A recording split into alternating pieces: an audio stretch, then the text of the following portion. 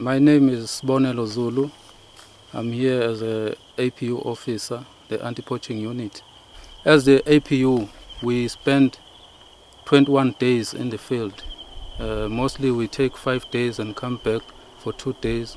After two days we go back again.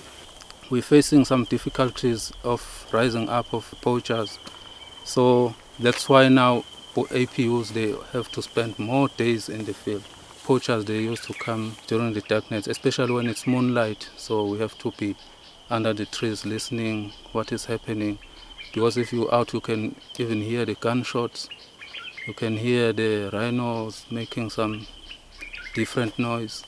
So APUs they are in front in everything here in the Cliffwood Park. They are the first people to react. Now poachers they want to shoot at us, we have to defend ourselves. So it's very important for us, for each member to take care of each and every member in the group.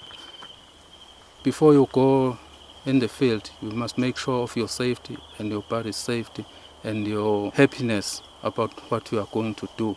So if you don't have enough equipment, you are not feeling like going to the field. So if we get enough equipment like water bottles, backpacks, those kinds of issues, they can keep us spending more time in the field because that's what we short of.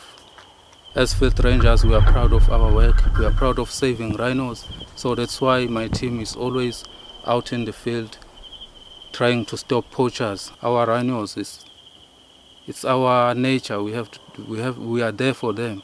So we have to protect them. So if one rhino is, is dead, we blame ourselves. Maybe we are not doing our job perfectly. Because that's why we're spending more time because we are trying by all means would, that uh, there must be no poachers coming in so that they can kill the rhino. So it's totally bad. We end up crying for that. Help a ranger save a rhino.